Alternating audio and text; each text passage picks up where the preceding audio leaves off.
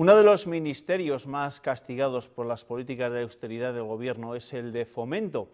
A la ministra Ana Pastor le tocará decir que no a muchas de las propuestas que le hacen presidentes autonómicos y también alcaldes de muchas ciudades. Con el de Burgos, con Javier Lacalle, se reunía esta mañana la ministra, la ministra de origen zamorano, se lo recuerdo. Nos vamos hasta nuestro centro de producción en Burgos. Allí nos espera Ana Pastor, ministra. Gracias. Bienvenida a Castilla y León Televisión. Buenas noches. Buenas noches y muchas gracias. Oiga, la primera pregunta va a ser personal, si me lo permite. Eh, a los que nos preocupa el tema de las autovías, del peaje en las autovías porque las utilizamos a menudo. ¿No va a haber peajes en las autovías? Ese tema no está en la mesa del Consejo de Ministros, no se ha abordado y no se está abordando. ¿Pero no se va a abordar más adelante? No se, no se está abordando. Tenemos sobre la mesa en este momento, eh, como sabe, propuestas de trabajo y esa no es una propuesta de trabajo en este momento. Vale, pues no es una propuesta de trabajo de momento. Ya que estamos hablando de autovías, le pregunto por una que preocupa y mucho aquí en Castilla y León. La autovía eh, del Duero es una de nuestras principales reivindicaciones para vertebrar la comunidad. ¿Puede hablarnos de plazos, de algún plazo, a pesar de las dificultades económicas de estos tiempos?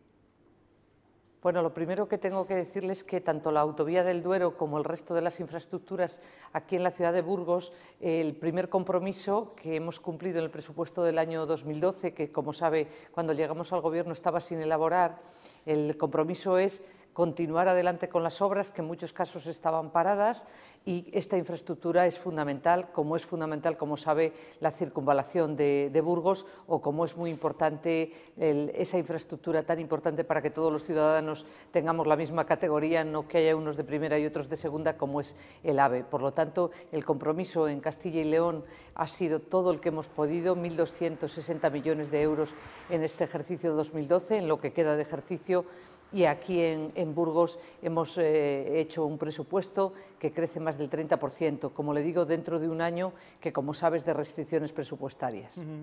Y a pesar de esas restricciones presupuestarias, y le sigo preguntando por la autovía del Duero, sobre todo porque había cierta polémica en torno a la opción al trazado definitivo que se iba a poner en marcha. El gobierno anterior se decantó por la opción norte, por aquella que, eh, digamos, que salvaba los viñedos más emblemáticos de la ribera del Duero. El actual gobierno, el actual Ministerio de Fomento, no va a variar ese proyecto.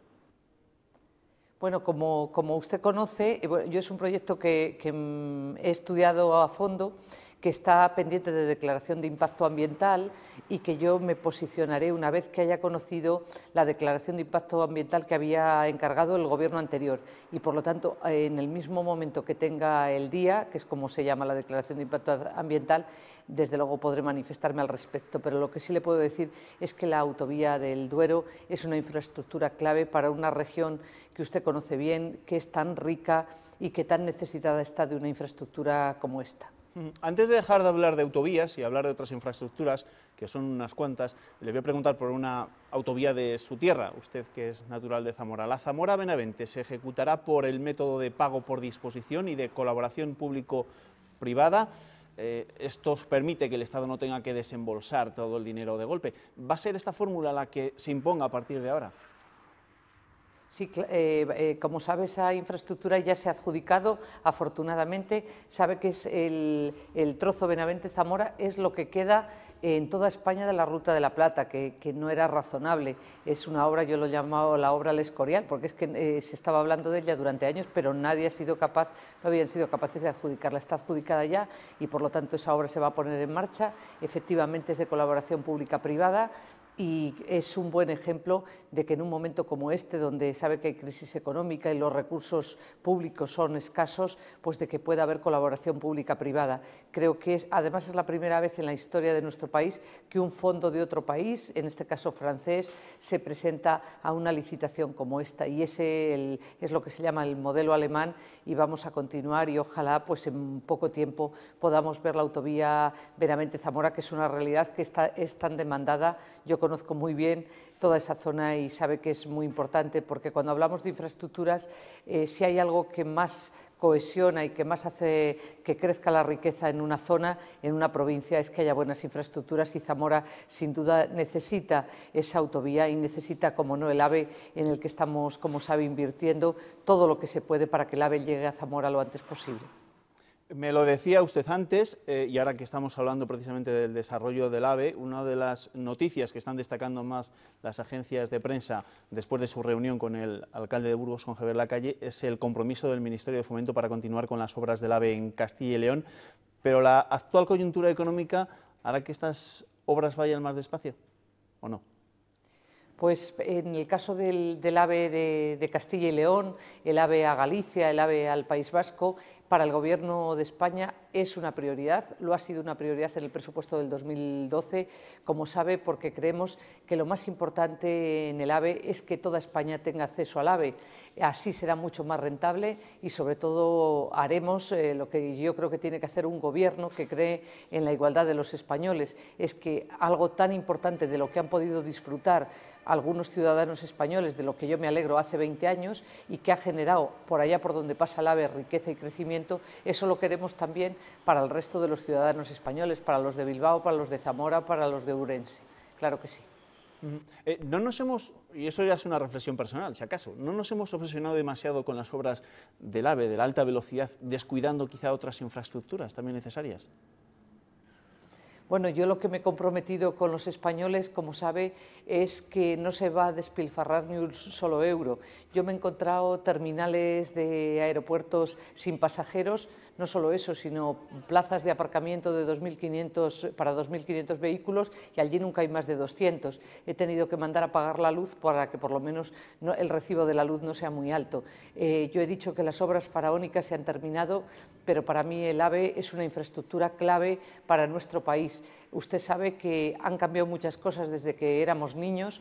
Eh, yo recuerdo bien el ferrobús en el que íbamos de, Zamora a Salamanca, pero lo que no ha cambiado para muchos, como sabe, es lo que tarda en llegar el tren de su ciudad o de su pueblo a otra ciudad. En el caso, por ejemplo, de Galicia, se tardan más de 12 horas en llegar de Pontevedra a Madrid.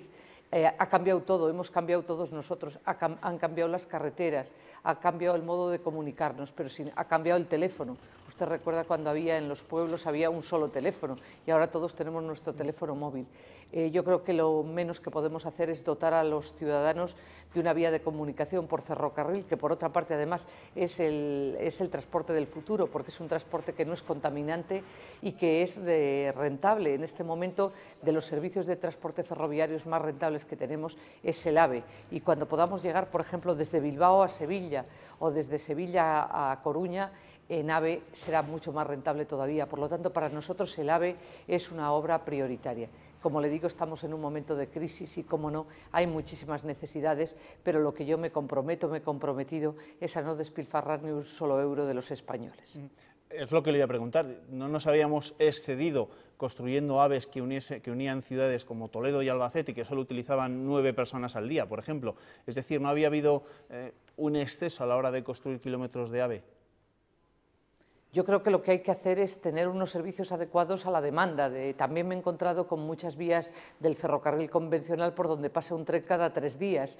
Eso no nos lo podemos permitir los españoles. Lo que no nos podemos permitir es que con los impuestos de la gente tengamos que hacer frente a servicios que no son rentables. Pero no olvide que es que el ferrocarril, y seguro que lo sabe como yo, no solo tiene rentabilidad económica o debe tenerla, sino rentabilidad social, porque es un modo en el que las personas nos movemos. Por ejemplo, para que una persona llegue antes a un hospital, pues tiene que haber una buena carretera o tiene que haber un buen modelo de transporte. Por lo tanto, cuando estamos hablando de dónde ponemos los impuestos de los ciudadanos, los ponemos en aquellas cosas que son un servicio público, la sanidad, la educación y también el transporte, porque hay muchas personas que, como sabe, que necesitan el transporte no para ir a divertirse, que también, y no me parece mal, que lo necesitan para ir a trabajar. Por lo tanto, cuando hablamos de que funcionen bien las cercanías es porque la gente utiliza las cercanías para acercarse.